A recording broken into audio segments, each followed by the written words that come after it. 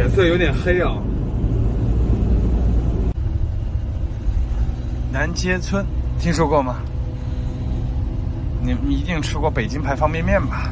就这儿产的。继续行驶五点五公里。我拿到了我的临牌，然后还有一个很好的消息，我的公告，我的工信部公告已经快了，公示期现在叫公示期，很快就拿到了。今天来谈业务。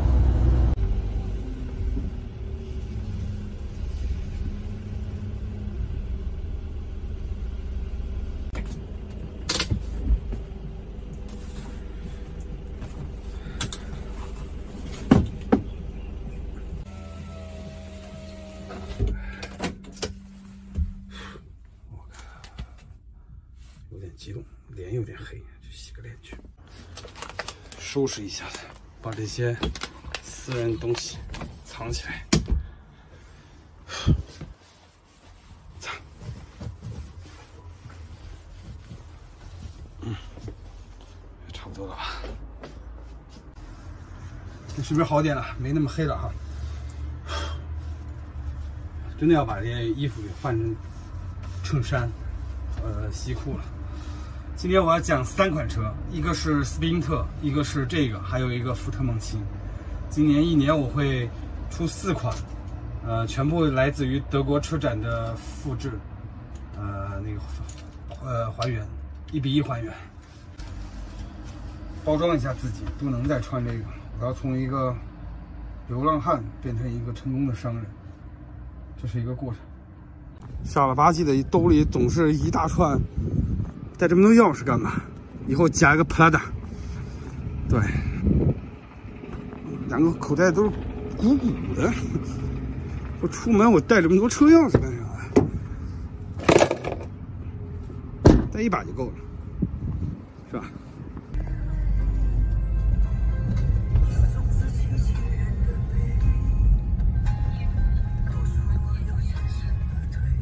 三个小时的会议结束了。现在是晚上九点半，入住。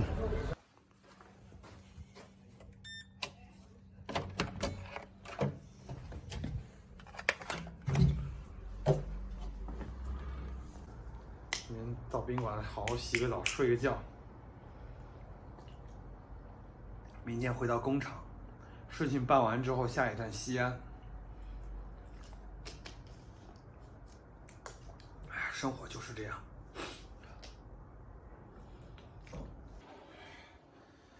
需要一个包，我这兜里怎么就这么多东西嘞？我已经不带东西了，我真的需要一个包。嗯，好。而且我需要戒烟，我现在我不行了，我在这儿，我一天我要两盒，两盒烟，不然晚上打瞌睡。烟抽多了，抽太多了，我要戒烟，克制一下自己，再这么下去不好，不能总是这样麻麻醉自己哈。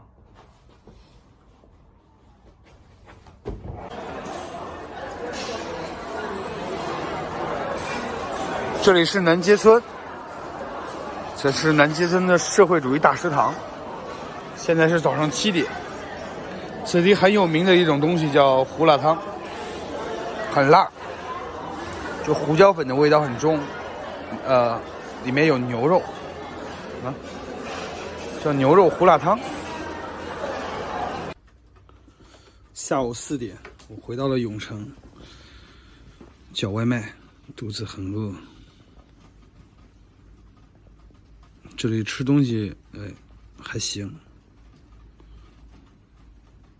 要一个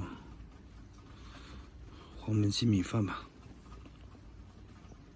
算了，不点了。今天下雨，这外卖员送这么远，要被骂的。下了一天，很大。就回到了这个车里。今天这里结束，明天还得去西安。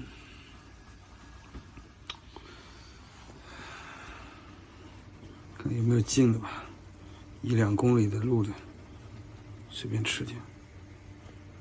三公里，好远，都好远，都都五公里，不吃。晚上出去吃，开这车出去吃。嗯，那车已经放回工厂里了。今天有变数，等着我的客人。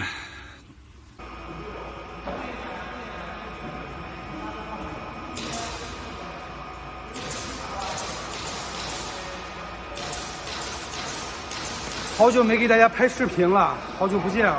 我是九五七，最近挺忙的。啊，车嘛，外面太吵了，我们到里面去说啊。说点什么呢？啊，对，事情办妥了。这几天呢，一直没有更新视频，是嗯，这个样子不出来了嘛？你得教给他们后面该怎么做呀，是不是？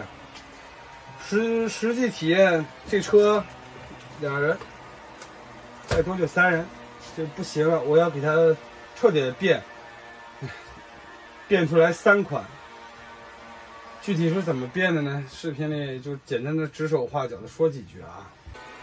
这个区域呢不变，因为它很呃很宽很大，这个区域整体不变，冰箱加大。是吧？呃，厨房就不在这里了啊。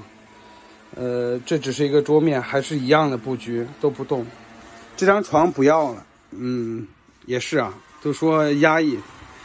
呃，这张床变成了什么呢？呃，三个版本的第一个版本是一半四十四十二公分的一个电动沙发。平时的话，它靠在墙上是吧？是一个沙发，是一个过道可以啊坐，然后这边镂空。像那个洞一样镂空，填一块这样的红橡板进去，然后它不是这样翻过来，那个感觉非常的没有没有档次啊。下面带一个那个腿的那个翻上来，我这个呢是搂进去之后把它用吊绳吊下来，在这个位置一直到前面，呃，就形成了一个像快餐厅的吧台，这是一个版本。然后这堵墙。整体往内移，整个厕所大变样啊！厕所怎么变呢？不要了，水池那个马桶会移到这里，做一个抽拉的合适马桶啊！中国人比较能接受这些，放在这个地方，进门的这个地方是一个马桶，然后那里不是一个轮眉嘛？是吧？整体把它做成一个台面水池，而且很大。这样反正它也占地方，也没什么用。这个墙现在厕所是呃九十八十八十，把它往里面退十公分，这里面往里面进十公分。然后这张床如果拼起来的话，它就大了十公分。现在是一米一嘛，呃一米拼出来就一米一。这是一个版本，第二个版本是取消这个大衣柜和这厕所，这里全后面啊。包括这吊床哈，后面搬空，家具板材啊风格不变。搬空之后，这边变成一个卡座，这边变成一个卡座，中间一张桌子，在大衣柜门往里面去一点的地方呢，后置的厨卫。这边是厨房，那边是卫生间。卫生间是一个抽拉式卫生间，平时它就是一个马桶，就是上厕所用。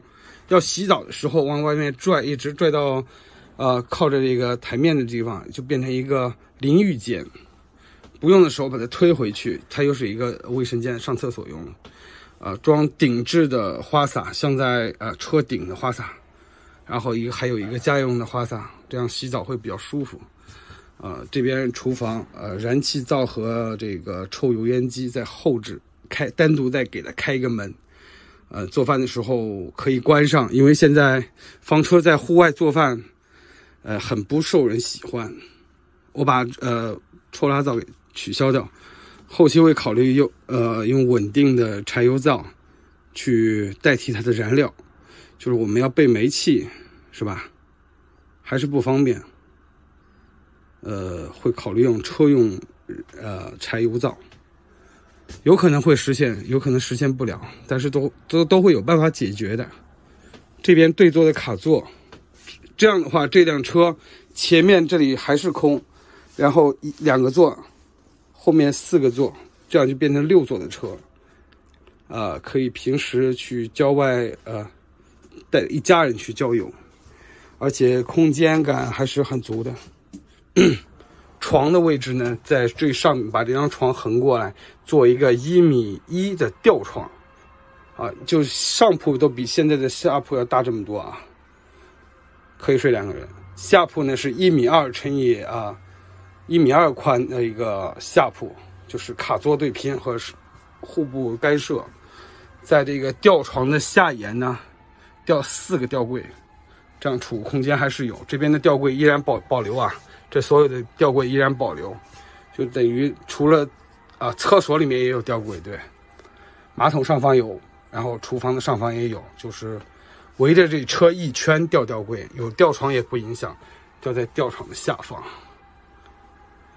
那个吊床比这要宽，宽这么多，还要多一点啊，两个人睡觉没有问题，下铺两个人睡觉更没有问题。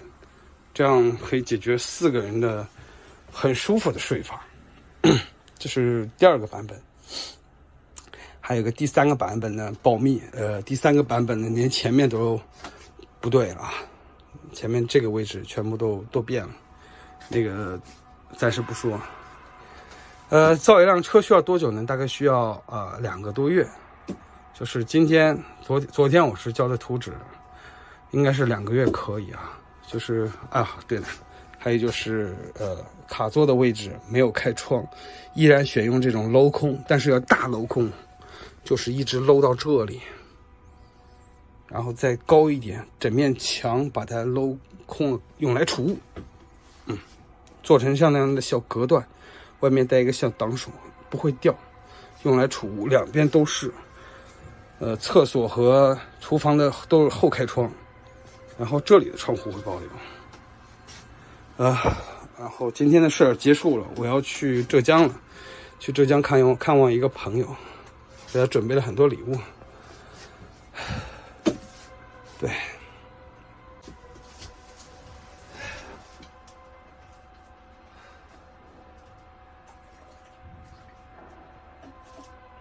图纸上的东西，你跟呃跟跟施工的去讲。讲不清楚，比着给你看，这里该怎么做，那里该怎么做，比着让你看，会讲的比较清楚一点。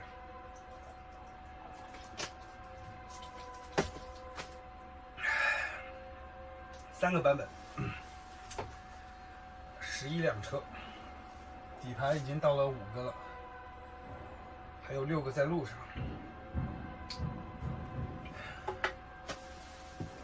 嗯。剩下的底盘交给朋友去帮我运回来，托运。总共这次我销了二十一台底盘，十一台是已经卖出去的，然后还有十台呢是我们要认购底盘，我要做现货。对，所所有的电池配件这两天都在备货，包括底盘，动作比较大，也也是在房车圈里来说。目前很大的一个订单了，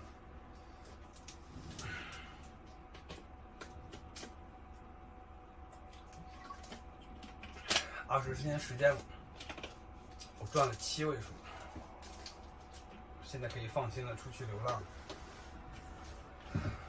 后面的事情交给公司去打理。